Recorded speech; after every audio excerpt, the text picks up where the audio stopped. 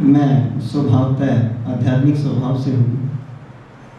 वह दिन मेरे लिए वज्र समान था, जब मुझे पता लगा कि मेरी पत्नी कैंसर रोग से पीड़ित हो गई है।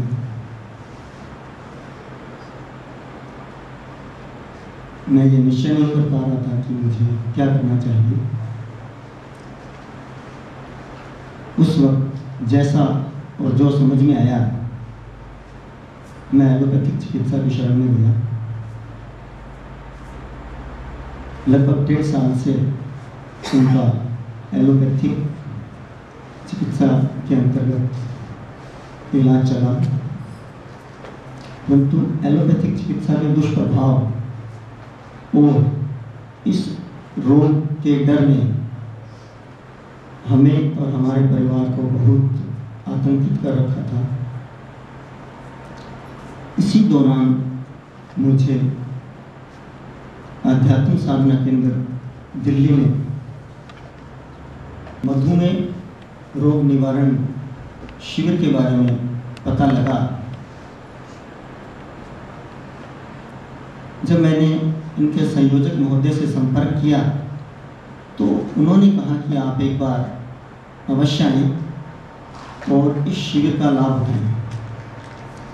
मन में बड़ी दुविधा थी कि क्या इस रोग के अंदर, इस शिविर से मुझे कोई फ़ायदा मिल पाएगा? आने से पहले मेरी पत्नी का स्वास्थ्य कुछ अच्छा नहीं था। पूरे एक हफ़्ते तक यह ऊहापोह में बीता कि हम जाएँ या ना जाएँ, क्योंकि उनको आने की फीलिंग नहीं हो रही थी। किसी भी तरह से उनको मनाकर हम इस शर्त पर आए कि एक या दो दिन बाद वापस चले जाएँगे। जैसे ही यहाँ पहुँचे, यहाँ के वातावरण ने मुझे बहुत प्रभावित किया। शुरू के दो या तीन दिन थोड़ा सा हमें इसलिए भारी लगे कि यहाँ की दिनचर्या थोड़ी सी लंबी थी। उस दिनचर्या के हम आदि नहीं थे, परंतु तीसरे दिन और चौथे दिन चौथे दिन हमें इतना अच्छा फील हुआ कि मैं वर्णन नहीं कर सकता। आज पांचवा दिन है और मैं जो परिवर्तन उनमें देख रहा हूँ, वह आश्चर्यजनक, चमत्कारिक है। उनकी जो परेशानियाँ थी, वो लगभग अगर मैं कहूँ तो पचानवे प्रतिशत तक दूर हो गई हैं। और अभी दो दिन और हमें यहाँ रुकना है। उसके अंदर मुझे लग रहा है कि वो पाँच प्रतिशत जो रह गए हैं उसमें भी हमें आशातीत लाभ मिलेगा। अब अपना अपने बारे में बताएँ। नज़दीक। यद्यपि मैं इस शिविर में अपने धर्मपत्नी के साथ आया था। अपने किसी रोग के लिए नहीं आया था। परंतु यहाँ आकर के मुझे जो सुकून, जो शांति महसूस हुई और स्ट्रेस लेवल अगर मैं आज बात करूँ, दिन में हम बात कर रहे थे, मैं अपनी धर्मपत्नी से बात कर रहा था कि स्ट्रेस लेवल ज़ीरो हो गया। उसी दौरान मुझे साध्वी जी, श्रवणी जी मिले जब मैं ऊपर की तरफ़ जा रहा था। तो उन्होंने पूछा कि क्या बात हो रही है? मैंने कहा जी आपके बारे में ही बात हो रही थी कि आपके पास आने के बाद में हमारा स्ट्रेस लेवल बिल्कुल ज़ीरो हो गया है। और मैं इस अनुभव को शायद शब्दों में बयान नहीं कर पा रहा हूँ जो मुझे यहाँ अनुभूति हुई। शहर नाम और उम्र तीनों का। मुझे मंच पर बोलने का प्रयास तो नहीं है। हाँ कोई बात नहीं। बिल्कुल आपको जो प्राकृतिक है, जो आपकी है मेरी आयु फोर्टी नाइन, उनचास वर्ष है। और मैं श्री गंगानगर से हूँ। मैं कैंसर रोग से पीड़ित थी। 2014 में अप्रैल में मुझे कैंसर हुआ। तब मैंने सबसे से पहले भैया से ही संपर्क किया था। और उसके बाद मेरा एलोपैथिक ट्रीटमेंट भी चला। काफ़ी कष्ट रहे।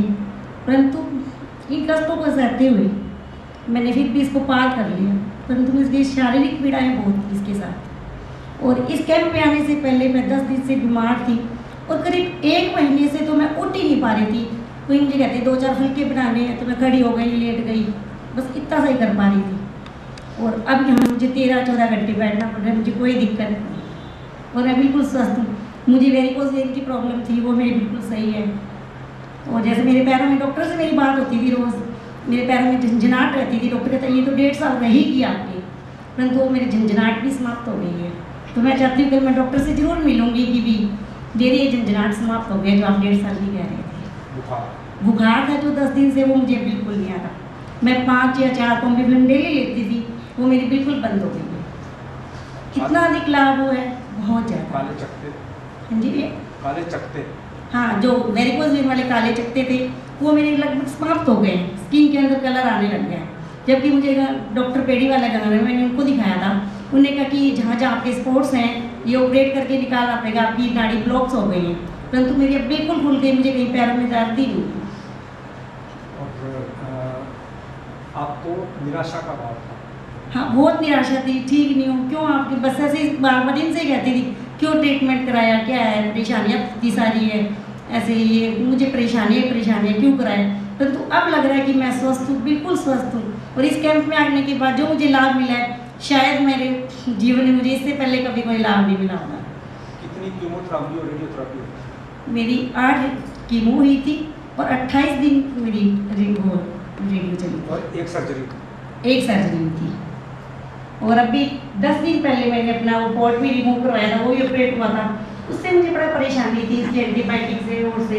तो, तो यहाँ आने के बाद सब कुछ रिमूव हो गया कुछ भी नहीं परेशानी किसी भी तरह की।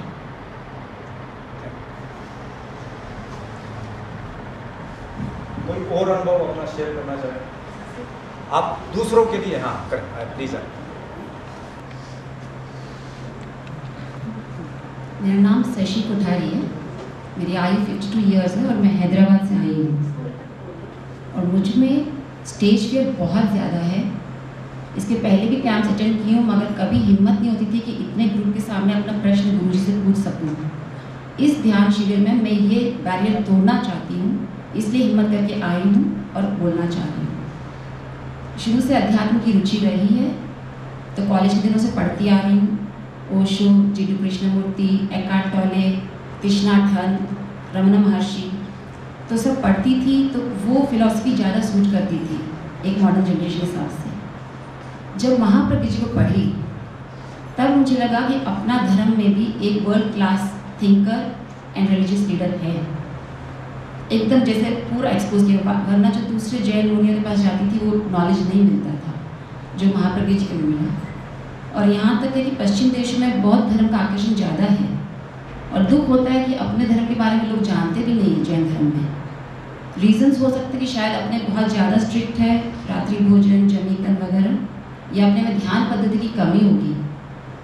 तो जब मैंने इसके पहले विपचना किया, रविशंकर जी के यहाँ कोर्स किया, बाबा शिवानंद जी भी कोर्स किया।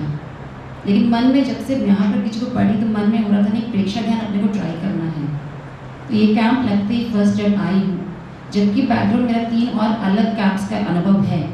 उसके अगेंस्ट मेरा मन तुलना करता है बार बार बट मुझे from the start up till now इतना बढ़िया इसका लग रहा है जो कोर्स का ये इंटीग्रेटेड बनाया गया सिस्टम इसका। विपचना में आपको छोड़ देते हैं, विश्वास को देखो शरीर को देखो। दस दिन बोलो नहीं और देखो, कोई टूल नहीं है। और सीधा सीधा आदमी ए बी सी नहीं जानता है, सीधा आप उतना छोड़ दो उनको। उनके पास कोई वो नहीं रहता कैसे मैं ध्यान को पा पाऊँगा बट इसमें जो है, एक देख रहे हैं कि फिजियोलॉजी समझा रहे हैं ताकि अपने को बॉडी का मालूम पड़ जाए मंत्र साधना है, जो एकदम उच्चारण करते करते ऐसा माहौल बनता है कि वो एकदम चोट करता है। एंड सन्नी जी जो है, प्रेक्षा ध्यान, कायोत्सव। एंड उसमें पूरा हमको एक निर्देश मिलता है कि how you should go inside you know कि अपने बॉडी के अंदर कैसे जाता है। और मैं ये चाहती हूँ कि अपना जो प्रेक्षा ध्यान, मुझे जो अनुभव हुआ है, ये सिर्फ़ अपने जैन समाज में या लाडनू और दिल्ली में ना रहकर, ये अपने पंख फैलाए। साउथ में जाए, मैं साउथ इंडियंस को, मेरे आंध्रा फ्रेंड्स को बोल अटेंड करो। जब वो मुझे कहते हैं, आप इनका अटेंड करो रविशंकर जी का तो मैं कहना चाहती हूँ we have such a good option तो ये मैं चाहती हूँ, कैसे फैले? मैं नहीं चाहती मैं दो चार लोगों को और लाऊँगी बट आप लोगों से रिक्वेस्ट है कि कैसे इसका एडवर्टाइजमेंट करके let us reach the masses वो बस यही है। तो मेरा अनुभव टॉप क्लास का है। A to Z everything is being taken care of बस यही है कि अपने साधक जो है, आए हैं तो अपने गृहस्थी का सुख भूलना चाहिए। खाने में जैसे ही देते हैं सादा वो लेना चाहिए। और बल्कि चाहूँगी चाय वाय छोड़ के और सादगी में आए हम लोग। साधना ज़्यादा करें एंड बॉडी को वो करें। बहुत बहुत धन्यवाद। मैं निर्मला कोठारी दिल्ली से ही हूँ। मैं हर साल कई छः साल से कहीं न कहीं कैंप में मैं जाती हूँ। विपासना जाना है, जाऊँगी। नेचुरल थेरेपी जाना है, जाऊँगी। इस बार दो साल से मैं गई नहीं थी। इस बार जब दिल्ली में ये पता चला मेरे को जैन साहब कैंप लगा रहे हैं तो मैं यहाँ पर आई और मैं आने, जब मैंने सुना, सुनते ही पहले मैंने कॉल करी, मेरे दौरानी जो पहुँच चुकी है अभी, हैदराबाद कॉल करी, उसके बाद कलकत्ता कॉल कर कॉल करी जो मेरी ननद है उनकी अभी ऑपरेशन हुआ है कि डॉक्टर ने मना किया अभी उनको आना जाना करना, सफ़र नहीं करना। लेकिन फिर भी दीदी भी आए हैं। और आने के बाद में इन लोग को भी अच्छा लग। और मैं तो क्या बताऊँ, मैं तो इसी समाज में जीती हूँ, मेरे को बहुत अच्छा लगता है। और बहुत अच्छा लग रहा है कि यहाँ हमें समीर जी सिखा रहे हैं। इधर जैन साहब ने इतना अरेंजमेंट किया है, इधर धर्मानंद जी, स्वामी धर्मानंद जी यहाँ पर मौजूद हो जाते हैं। तो हम अपने जो एक्सपीरियंस है, मेरे को तो बहुत अच्छा लग रहा है। जिसके लिए, इस कैंप के लिए मैं केसी जैन साहब की बहुत बहुत आभारी हूँ। और ये कैंप बराबर लगते रहे और उसमें मेरा कोई भी सहयोग चाहिए। तो मैं एनी टाइम हाजिर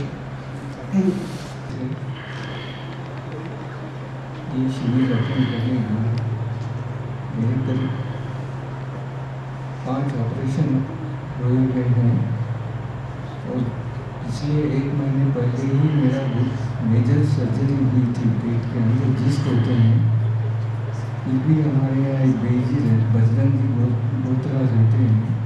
वो मुझे प्रेशर किए कि इधर ये कैंप अटेंड करो मैं आए के बाद में मेरी हेल्थ में बहुत इम्प्रूवमेंट है। और मैं बहुत आभारी हूँ कि बहुत अच्छा सिस्टमेटिक काम कर रहे हैं। मेरी वाइफ भी बहुत इंजॉय कर रही है। मैं कमल थोड़ा थोड़ा तेज आवाज़। ये ये केवल सुनकर के रिकॉर्ड कर डायरेक्ट कनेक्टेड नहीं थे मैं कमल चौरड़िया, हैदराबाद से मेरे पति की बीमारी की वजह से एक कुटुंब में बताइए या अपने आप के लिए एक निगेटिविटी बहुत ज़्यादा आ गई थी लाइफ में। सबसे पहले मेरे को यहाँ आने के बाद में पॉजिटिविटी का एहसास हुआ।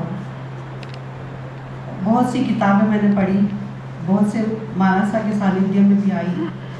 परंतु यहाँ पे आने के बाद में लाइफ को कैसे जीना है और लाइफ को कैसे बीमारी से छुटकारा पाना है या लाइफ को कैसे आगे बढ़ाना है, ये चीज़ की मुझे अनुभूति हुई और इसके लिए मैं बहुत बहुत धन्यवाद देती हूँ इस संस्था को, जो आरोग्य की एक बहुत बड़ी मिसाल है, जो आगे जाके सभी अपने इंडिया इंडिया के बाहर ऐसे कैंप लगाने से सबको इसका फ़ायदा होगा।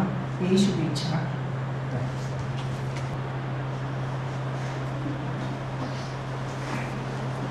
You are walking freely now. You are walking freely now. मेरा नाम चंद्रकांत और मेरी धर्मपत्नी शशि चंद्रकांत हम दोनों ये कैंप के ये पह, हमारा पहला एक्सपीरियंस है कोई कैंप अटेंड करने के लिए। यहाँ आके हमें बहुत अच्छा लगा। मैं अपना अनुभव बनाना चाहता हूँ पहले। शुरू शुरू के तीन दिन तो ऐसे ही निकल गए। कोई ध्यान लगता नहीं था।